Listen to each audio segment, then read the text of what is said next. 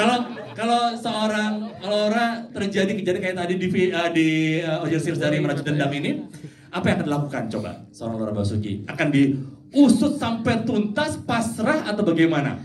Uh, yang pertama sih aku nggak akan nyalain si perempuan lainnya. Aku akan nyalain suami aku.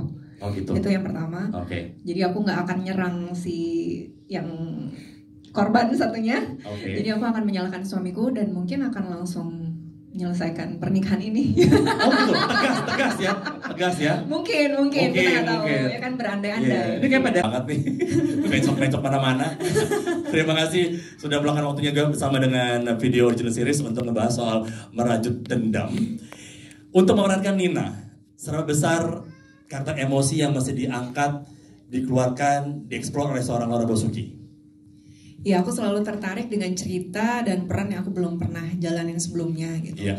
Dan seperti kita tahu kisah perselingkuhan sih sebenarnya nggak terlalu asing di kuping ya. Kita sering baca di berita. Bahkan aku sebelum mainin series Merajut Dendam ini aku research Indonesia tuh termasuk tingkat perselingkuhan kedua terbesar se Asia. Masa? Iya.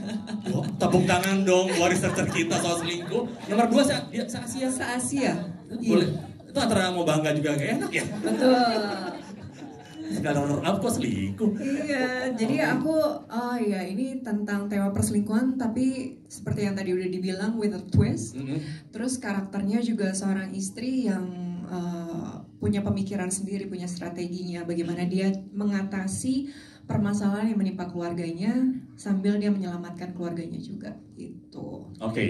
dan di sini Laura berperan sebagai Nina. Ya. Laura kalau secara pribadi berbeda, Nina berbeda juga. Ya. Tapi kalau Laura Basuki dalam posisi seperti Nina diselingkuhin. Aduh jangan dong. Lo ini kan seandainya, namanya ya. hidup kan boleh lo berandai-andai. Aku jangan sampai kejadian. jangan ya sayang ya. Iya.